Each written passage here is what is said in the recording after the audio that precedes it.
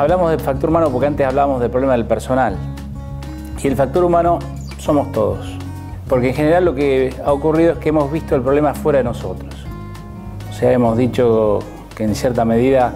el problema no tenía nada que ver con nosotros, sino que tenía que ver con lo mal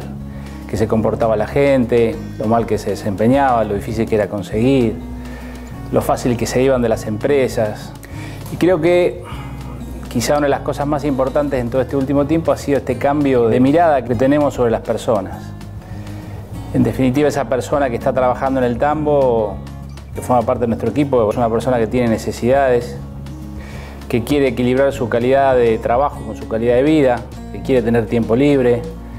que necesita dedicarse a su, familia, a sus hijos. Queremos trabajar eh, precisamente en que los tambos sean atractivos, que sean sustentables desde el punto de vista humano, no solamente desde el punto de vista productivo o del punto de vista económico,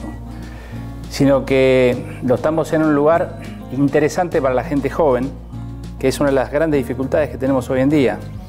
Los tambos hoy son lugares donde mucha gente no querría trabajar,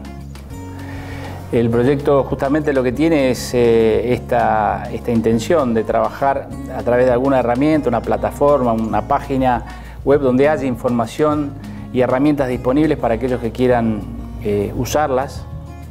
en beneficio de su, de su, propia empresa, de su propia organización y además tener una red de, de referentes, de gente que le interese este tema en las distintas zonas del país, que se quieran sentar a discutir de este tema. Es un proyecto interdisciplinario,